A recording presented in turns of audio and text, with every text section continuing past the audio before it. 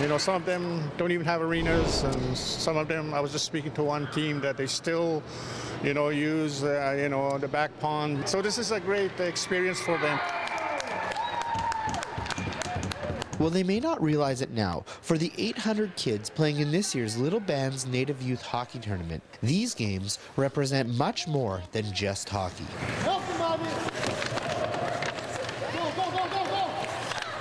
We have five teams, six, five or six teams that come out here every year, so they really look forward to it. To be with the other kids, to interact with the other kids and have fun. That's, I think that's the most important thing. I enjoyed a lot. I scored a lot of goals. I did all the saves.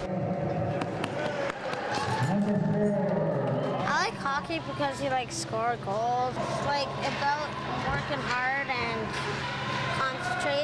And it really helps them with their self-esteem and self-worth and also gives them a chance to just come out and see, you know, uh, an urban setting, an urban area. With teams from 20 First Nation communities across the north meeting in Dryden for a week, it's a chance to make new friends, visit old friends, and meet up with family, all brought together by a love of hockey. It takes a lot of work, you know, for these teams to come out, and there's always uh, people, you know, in the community that take the initiative, to try to help them out.